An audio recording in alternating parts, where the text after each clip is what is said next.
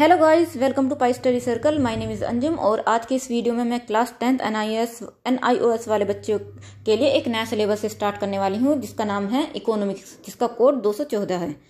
और चलिए हम इसका चैप्टर फ़र्स्ट स्टार्ट करते हैं जिसका नाम है अर्थशास्त्र क्या है? इस चैप्टर के most important question with answers के साथ मैं आपको इस वीडियो में बताने वाली हूँ। तो चलिए गाइज़ वीडियो को स्टार्ट करते हैं। देखते हैं कि पह, हमारा पहला क्वेश्चन है कि अर्थशास्त्र का अर्थ। अर्थशास्त्र को सामाजिक विज्ञान की विषय वस्तु के रूप में धन, कल्याण, दुर्लभता, चुनाव विकास तथा वर्तमान की आवश्यकताओं को पूरा करने का मिशन कहा जाता है। यानी कह सकते हैं हमारे समाज में अर्थशास्त्र को धन, कल्याण, सीमित संसाधन, चुनाव, विकास और वर्तमान की जो आवश्यकताएँ होती हैं, उनको पूरा करने का मिशन कहा जाता है। तो चलिए गाइज़ अगला क्वेश्चन देख लेते हैं कि अर्थशास्त्र की शाखाएँ या अर्थशास्त्र की कितनी ब्रांच होती हैं। तो देखते हैं, चलिए। अर्थशास्त्र की दो शाखाएँ होती हैं, व्यष्टि अर्थशास्त्र और समष्टि अर्थशास्त्र। तो चलिए गाइज़ हम अपना अगला क्वेश्चन देखते हैं। व्यष्टि अर्थशास्त्र और समष्टि अर्थशास्त्र में अंतर या भेद? यानी व्यष्टि अर्थशास्त्र। व्यष्टि अर्थशास्त्र बहुत ही छोटे स्तर पर अर्थशास्त्र की जानकारी का अर्थ बताता है। यानी व्यष्टि अर्थशास्त्र जो होता है, वो बहुत ही छोटे लेवल पर अर्थशास्त्र की जानकारी हमें देता है।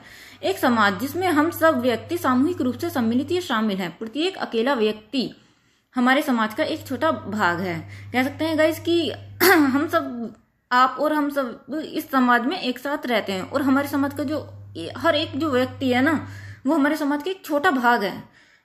इसलिए एक व्यक्ति के द्वारा लिए गए निर्णयों की जानकारी व्यष्टि अर्थशास्त्र की विषय वस्तु होती है। चलिए गाइज़ मैं आपको एक उदाहरण के द्वारा समझाती हूँ कि हम सब किसी वस्तु को खरीदने के लिए कीमत का भुगतान करते हैं। बाज़ार में इस कीमत का निर्धारण कैसे होता है? व्यष्टि अर्थशास्त्र हमें इस प्रश्न का उत्तर देता है। कह सकते हैं कि गाइज़ जैसे हम किसी वस्तु को खरीदने के लिए बाज़ार गए तो हम उस वस्तु को कितनी मात्रा में खरीदेंगे और उसके लिए हमें कितना पे करना होगा, इस सब की जानकारी व्यष्टि अर्थशास्त्र हमें देता है। तो चलिए गाइज़ आगे बढ़ते हैं कि समष्टि अर्थशास्त्र, एक व्यक्ति की तुलना में समाज या देश या संपूर्ण अर्थव्यवस्था बहुत बड़ी है।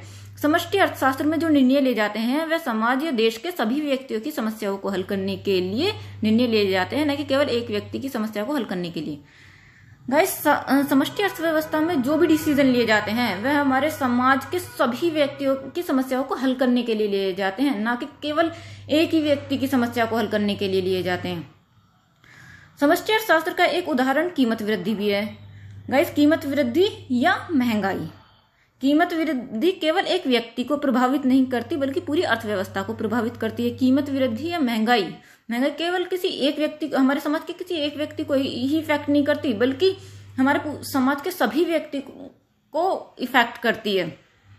इसलिए इसके कारणों और प्रभावों को जानना और उसको नियंत्रित करना भी समष्टि अर्थशास्त्र के अंतर्गत आता है। तो चलिए गाइस हमारा अगला क्वेश्चन देखते हैं।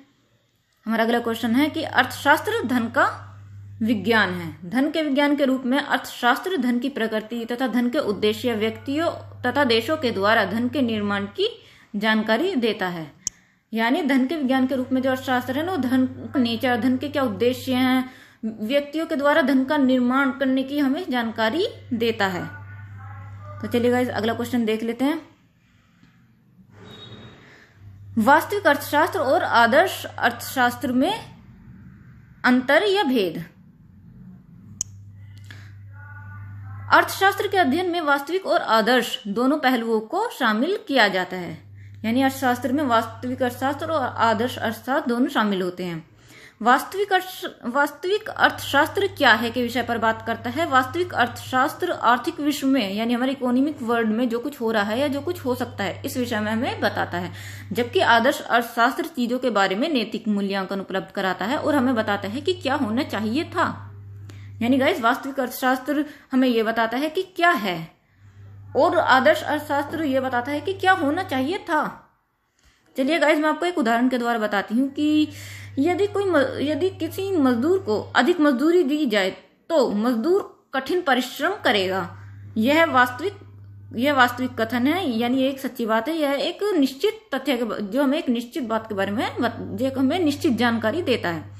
कठिन परिश्रम के लिए फैक्ट्रियों को, श्रमिकों की मजदूरी में वृद्धि बढ़ोतरी करनी चाहिए, यानी कठिन परिश्रम करने के लिए फैक्ट्रियों को श्रमिकों की मजदूरी में बढ़ोतरी करनी चाहिए। यह एक, यह आदर्श प्रकृति का प्रकृति का है, क्योंकि यह सही चीज़ के बारे में हमें बताता है।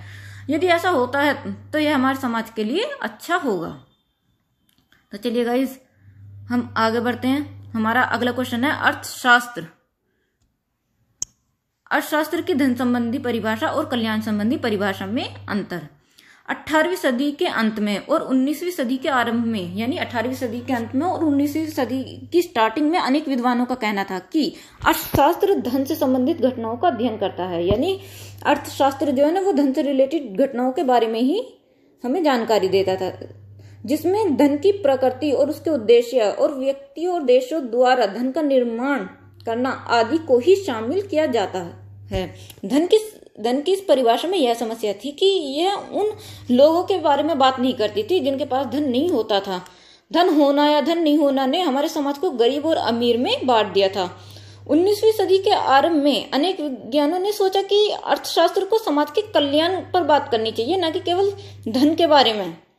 उसके बाद ही अर्थशास्त्र को कल्याण के विज्ञान के रूप में देखा गया। कल्याण के विज्ञान के रूप में अर्थशास्त्र का संबंध केवल परिमाणात्मक कल्याण से ही माना गया, क्योंकि उसे मुद्रा में मापा जा सकता है। तो चलिए गाइज़ इसी के साथ हमारी वीडियो यहीं समाप्त हुई। तो गाइज़ मैं आपसे कहना चाहती हूँ, अगर आपको हमारी ये वीडियो अच्छी लगी तो प्लीज़ हमारी वीडियो को लाइक कीजिए लाइक कीजिए, और अगर आप हमारे चैनल पर नए हैं तो आप प्लीज़ हमारे चैनल को सब्सक्राइब कीजिएगा आपको वीडियो ये कैसी लगी, आप मुझे प्लीज़ कमेंट करके ज़रूर बताना।